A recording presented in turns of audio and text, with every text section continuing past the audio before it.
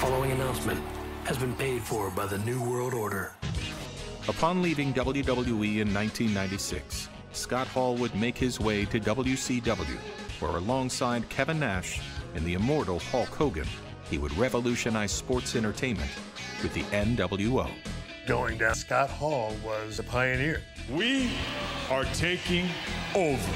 It just felt felt you were getting something special. Hey yo, are you here to see the? This was one of the best things. When you're